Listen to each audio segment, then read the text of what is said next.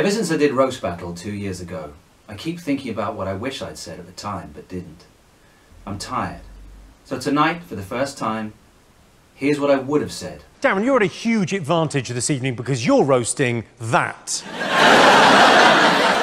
it's like a it's like a life-size Playmobil man. I mean, Have you seen yourself, Jimmy? You look like the Lego version of Richard Nixon's paedophile brother.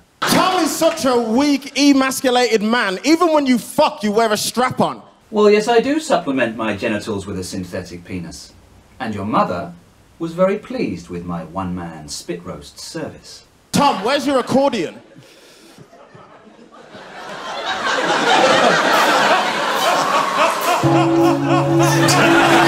Darren Harriott.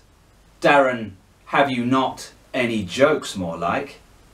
Tom, you're such a vegan, even your head's shaped like a mushroom. Darren, when your mother and I had finished making love, she nipped down to the kitchen to take down her tie-dye butterfly pattern curtains to make you that shirt with. Then she came back upstairs to give my strap-on one more gobble to wish me luck for tonight's show. You dress like you won bonus clothes on Grand Theft Auto. Oh, is that some sort of computer game, is it? Oh, I wouldn't know about that because I'm not a virgin. So there you have it, Darren, what I would have said two years ago. In a moment, we're going to fade out this video with a better fade than your shit haircut. And then I'm going to go and see your mum. I'm going to give it to Tom.